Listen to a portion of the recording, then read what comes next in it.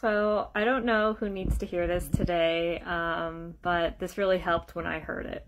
And it's that jealous people don't necessarily want what you have. They just don't want you to have any of that at all. So if somebody is belittling you or making you feel like you can't do something that you really want to do or that you're capable of doing, it's probably because they're jealous.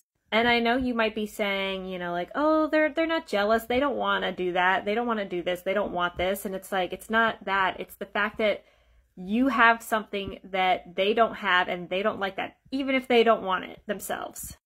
That's just a jealous person's nature.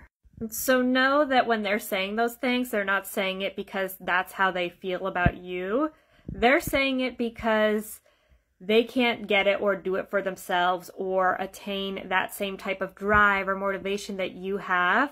They can't have it and they don't want you to have it either because it doesn't make them feel good. So just remember, they're just jealous. And you got this. You are capable. You can do these things. Don't let these jealous people tear you down.